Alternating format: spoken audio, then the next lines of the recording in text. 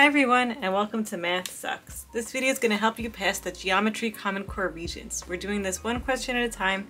Here is question 25. In triangle ABC below, angle C is 90 degrees, AC is 11, and AB is 18. Determine and state the measure of angle A to the nearest degree. So we're looking for angle A up here, and since this is a right angle, this is going to be a SOHCAHTOA problem.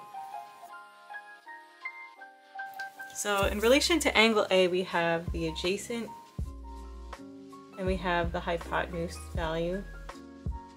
So adjacent and hypotenuse, so we know we're going to be using cosine. So cosine of theta is equal to the adjacent 11 over the hypotenuse 18. So to get this kind of answer when we don't know the angle, what we're going to do is plug this into our calculator. Cosine to the negative 1 of 11 over 18 let's do that. Second cosine, and then 11 divided by 18.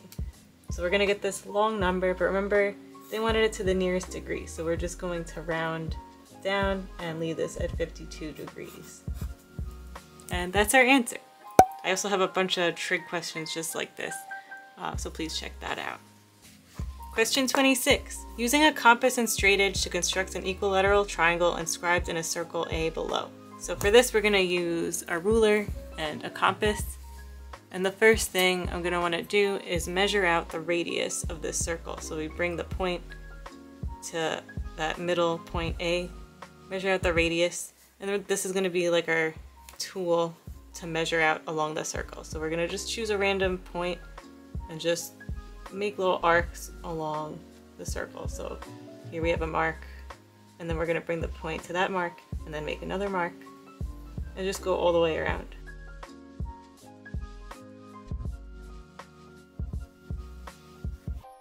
Until you see we're at where we started. So now uh, what we're gonna do for this equal, since it's an equilateral triangle, now we have all these equidistant arcs.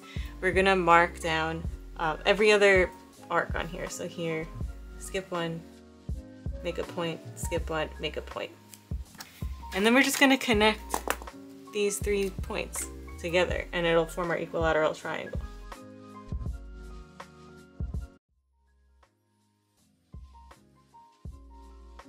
And that's it. Yes, this was a nice and easy construction. There are so many different constructions to remember. I happen to have a playlist full of a ton of them, so please check that out. Question 27.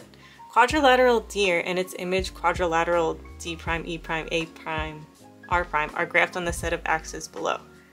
So if you look at this graph, we're starting with this quadrilateral there and then it's becoming this over here. So here's like one and then here's two. So we're going this way. Describe a sequence of transformations that maps quadrilateral DEAR onto quadrilateral d prime, e prime, a prime, r prime. So like how do we, the question here is like how do we go from this to this? What did we do? So right away I could see that we did a uh, reflection over the y-axis. So, because if you look at this shape, it looks like a flipped image of this shape. And then it looks like it was moved over a little bit. So the first thing I'm gonna say is reflection over y-axis. And you don't have to do this on the test, but if it helps you, uh, doesn't hurt. So I'm gonna actually reflect this shape over the y-axis to see what we did next here. So to me it looks like a translation, but let's uh, graph it. So notice D is actually gonna stay the same and then R. And to reflect on the y-axis, notice I'm just counting the distance from the y-axis and then placing that point. So like E is 5 units away from the y-axis, so we're going to do 5 units away on the, uh, from the y-axis on the other side. And then we could just connect our points. So this is our shape once it's reflected, which looks like the shape a below. But now we need to translate this shape, right? We're just like bringing it down and over. So let's translate. So let's see how many units we have to go. So if, if, um, if R is over here, let's see how many units we get to R prime. And you could choose any point. You could choose D. Yeah, okay. So I'm choosing R. So if you look at how we end up down here, to get to R prime, we go over one, two. So for X, we're gonna be going adding two units, going to the right two units. And then for y, we're going to be going down one, two, three, four, five, six, seven. So this is going to give us y minus 7 units. And that's our answer. That's all we need to put for this question. Reflection over the y-axis and then translating down 7 units and to the right 2 units. I also have a playlist on all the different transformations, so please check that out. Question 28. In circle P below, tangent AL and secant AKE are drawn. If AK is 12, so I'm just going to fill this in, and KE is 36, determine and state the length of AL. So we want to find that. So what we're going to use here is something called the tangent secant theorem. So based on this question, what the tangent secant theorem states is that we're going to take AL, this thing we're trying to find, and square it. So I'm just going to draw what we're doing. So we're taking AL over here, squaring it, and then setting it equal to AK, which you can see is 12, times AE. So times this whole thing. So we're doing like this little part that's on the outside times the entire thing, so AE. So that's why we're color coding this, so we could clearly see what we're doing times that whole thing. So not this 36, but it's gonna this whole thing is gonna be 12 plus 36, which is equal to 48. So okay, so now we could just fill it in now that we know this tangent secant theorem. So we have x squared, which we're trying to find, AL, is equal to AK, which is 12, times AE, the whole thing, which is 48. So if you plug this into your calculator, you're going to get that this is equal to 576. Take the square root of both sides to find x, and we're going to get 24. So the length of AL is 24. And that's our answer. I also have a playlist on all the different circle theorems and a video on tangent secant theorems for practice questions, so check that out. Question 29. The equation of a circle is x squared plus y squared plus 8x minus 6y plus 7 equals 0. Determine and state the coordinates of the center and the length of the radius of the circle.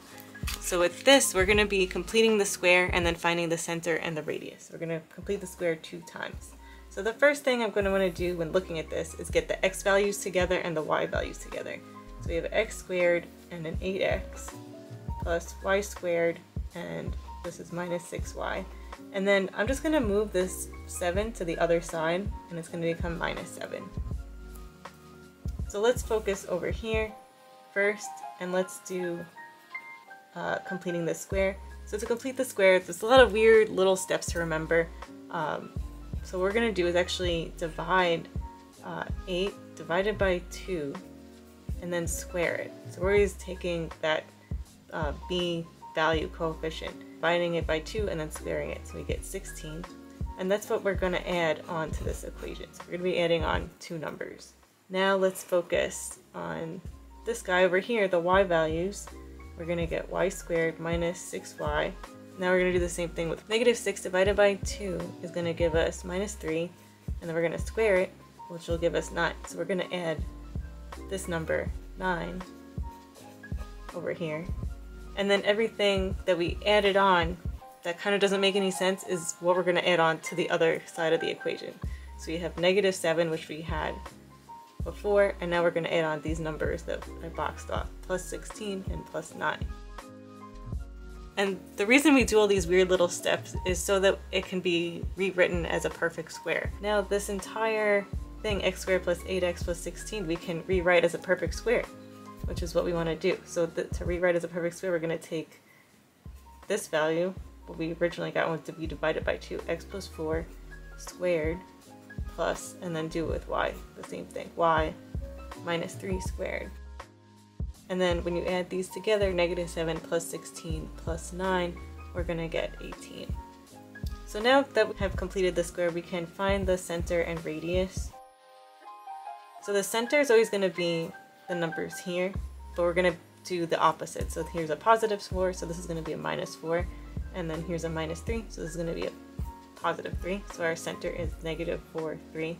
And then the radius is always going to be the square root of what's on the right to the of the equal sign.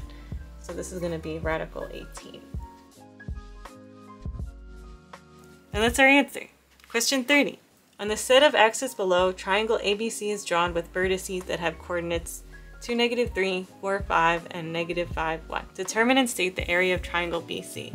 So there's different ways to do this. I'm gonna do the method of drawing a rectangle around this and then subtracting different areas of the different triangles that will form. So if that doesn't make any sense, uh, don't worry, we'll go over each step. So first thing I'm gonna wanna do is draw a rectangle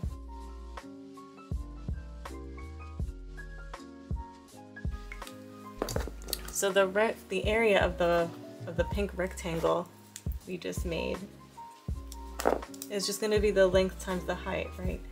So the length and the height, we could just count with the units. One, two, three, four, five, six, seven, eight, nine. This is nine units. And then this side, three, four, five, six, seven, eight, eight units. So this is just going to be 9 times 8, which is 72. Now I'm going to label these uh, triangles, these outside triangles, uh, triangle 1, 2, and 3. And then I'm to figure out what the areas are and then subtract them from that rectangle we found. So the area of triangle 1 is to be 1 half base times height, right? So 1 half base times height is to be 1 half times the base we found is 9. And notice the height is 4, 4 units. This is going to give us 18. Now let's find triangle 2 over here, the skinny one. 1 half base times height, so we could see base is 2 and the height is 8. Which will just give us 8. And now let's find the area of our last triangle. Triangle 3, 1, 2, 3, 4, 5, 6, 7. So this is 1 half times 7. And then let's see, 1, 2, 3, 4 times 4 and this is going to give us 14. So now all I need to do is take 72 and subtract all these areas. So we want to subtract 18 plus 8 plus 14. And when you plug that into your calculator, you'll get 32, which is our answer. Question 31. In the diagram below, AE equals 15, EB is 27, AF is 20, and FC is 36. So they give this triangle for us and they put out all the numbers that they were telling us already. Explain why EF is parallel to BC. So the first thing I'm going to want to do is get a better picture of both of these triangles. So there's the big triangle, ABC. And in between here we can add these together, right? 20 plus 36 will give us 56 and 27 plus 15 will give us 42. And then we have this smaller triangle, triangle AEF, where the side is 15 and 20. So what it looks like is that this, these triangles are going to be similar to each other. So they both have an angle A, and then they give us these values, and then let's see officially if they are similar by setting up a proportion and making sure they make sense. So if we do 42 over the corresponding side of the smaller triangle, which is 15, and set it equal to the base of the first triangle over the base of the second triangle. So what we can do here is make sure that these two fractions are equal to each other. So 42 divided by 15, we get 2.8, and then 56 over 20, we also get 2.8. So because these are in proportion to each other and they share this angle A, um, we get these two triangles being similar to each other by side angle side. This will eventually prove that write out the first part of this kind of mini proof we have here. So I'm gonna start writing it down here.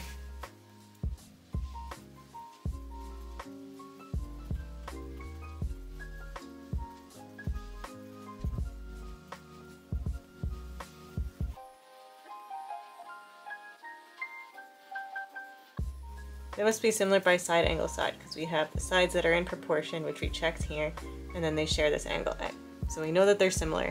And then because of that, the angles are going to be equal to each other. They're going to be congruent to each other because now that we know that they're in proportion and they're similar, they're actually going to have equal angles, congruent angles. So we had no angle A is congruent to angle A, but we can actually say that angle C is congruent to angle F. And we could also say angle E is congruent to angle B. That we could say corresponding angles of similar triangles are congruent. So we know that angle B is congruent to angle AEF and angle C is congruent to angle EFA. And we know this because corresponding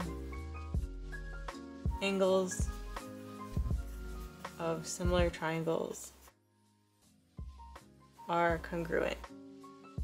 Notice if we go back at this picture, we can say that EF is parallel to BC because of these angle relationships.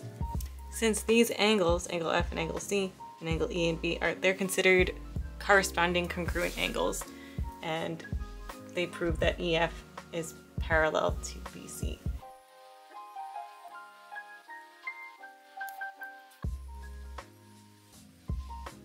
So that's our answer. Another thing you could have said, instead of doing this entire proof, you could have talked about the side splitter theorem.